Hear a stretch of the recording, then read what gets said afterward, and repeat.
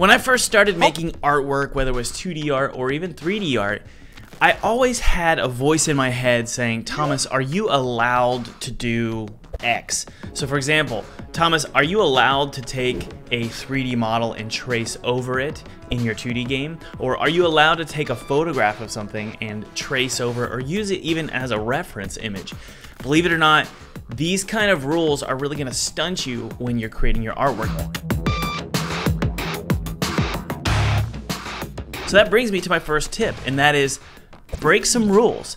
So this obviously doesn't mean break laws, right? So if you're gonna use concept art or 3D art as a reference image for your own artwork, you wanna make sure that you either buy the license, hire somebody, or just credit the person if you need to using an attribution license.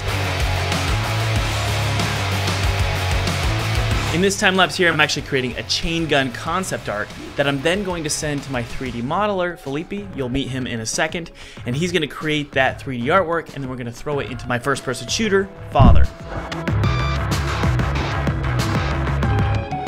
By the way, guys, there's a free game kit. You can use this to create a 2D game. I use this game kit to make a game for PewDiePie in 14 days. So be sure to click below, open in a new tab, download that, use it however you want. I really don't care. It's my treat to you.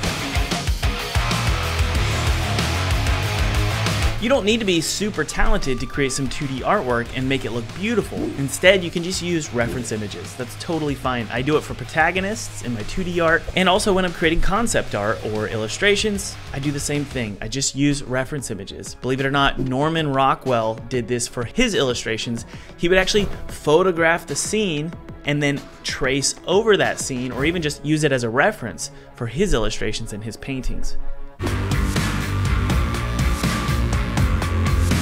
My second tip actually is inspired by David Lynch. David Lynch is one of my favorite filmmakers.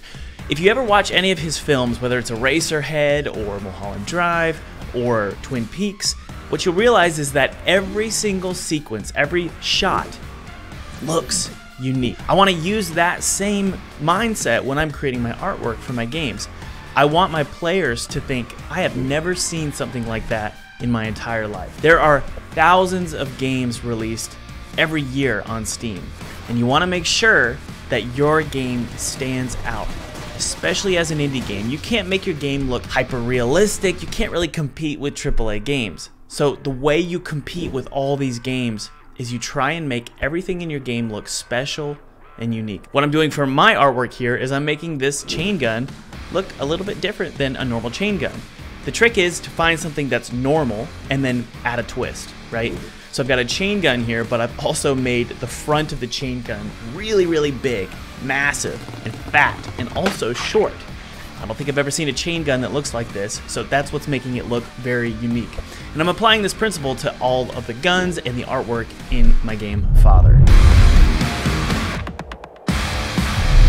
Alright guys, I'm in South Carolina. I'm going to take this concept art and I'm going to throw it over to Felipe in Canada. And he is going to take a look at this art and see if he can make it into a 3D model, and then we'll bring it into Father. Felipe, take it away. Thanks, Thomas. Hey guys, my name is Felipe. Let's see what kind of 3D model that we can make today using this concept art.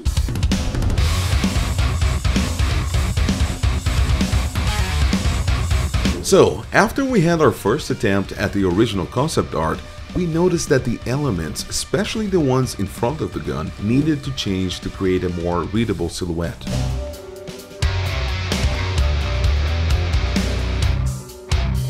We went back to the drawing board, changed some of the scaling and details, we took note of what seems to work better for both 2D and 3D, and also taking into account a first person perspective. This shows that sometimes what might look great in 2D and on the side view may not translate well for this type of camera. Uh, meow?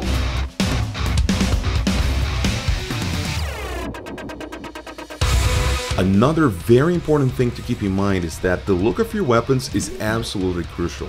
It's something that the player will be seeing throughout the majority of the game, and it does take a good chunk of screen space.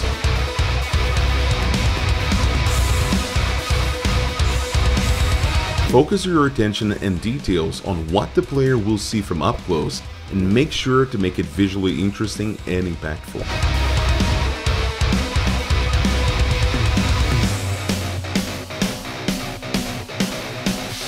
If you're gonna make a set of 3D models, create rules for your own modeling. Cylinders, for example, should have this many sides. Bevels shouldn't have more than two increments. Smaller details can be simplified to this extent. Textures should have this amount of visual fidelity versus a stylized look. Make sure that this is always consistent on all your models, so it will look like they're being made by the same person.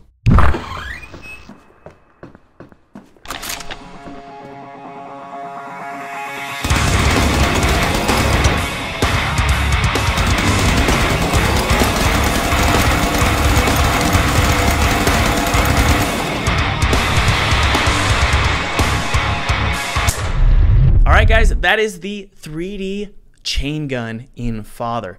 If this was oh. interesting to you, be sure to leave a like and subscribe for more videos like this, and leave a comment below of more content you might want to see or what you thought about this video. I'll talk to you guys later. Cheers.